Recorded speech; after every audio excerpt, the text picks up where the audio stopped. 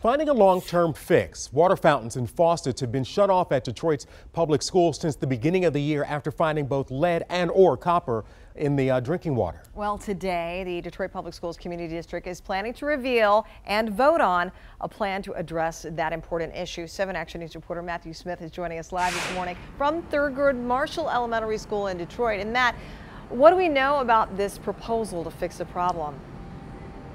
Well, we know that they plan to build a few hundred hydration stations for schools across the district. The big problem is going to be you don't know who's going to pay for or when these things will actually be rolled out. We're hoping to learn that at today's board meeting, which kicks off at noon in downtown at Fisher Hall. I actually had a chance, though, to sit down with the superintendent recently to talk a little bit about this, and he told me that corporate sponsors, he's hoping to unveil them today.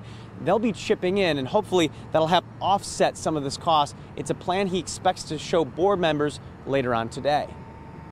I'm looking forward to um, engaging the board about the solution. I think the board uh, is aware of where we're going based on the community engagement uh, meetings that we've had, also uh, private conversations that I've had with them, and even some conversations we've had at, at board meetings. Remember, this problem has been brewing for a while. Back in August, we told you the district got definitive proof.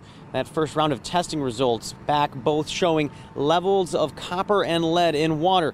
That was close to the start of school. There was no time to waste. Schools began without drinking fountains in the beginning of September. Instead, bottled water became the new norm at DPSCD schools, more than 100 across the city.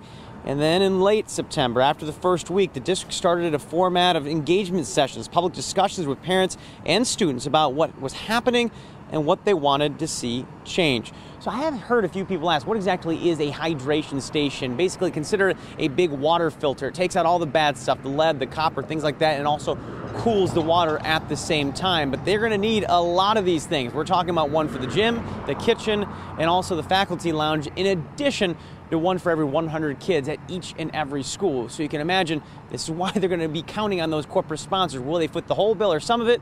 That's one thing we'll have to check out, and hopefully we'll learn today at that board meeting when the plan is unveiled. We are live on the west side, inside Pilgrim Village, outside of Thurgood Marshall Elementary School. I'm Matthew Smith, 7 Action News. Right, thank you very much. This is one of those things where you have to find the money because you have to find a solution. Parents and, of course, students and teachers want that as soon as possible. Thank you very much, Matthew.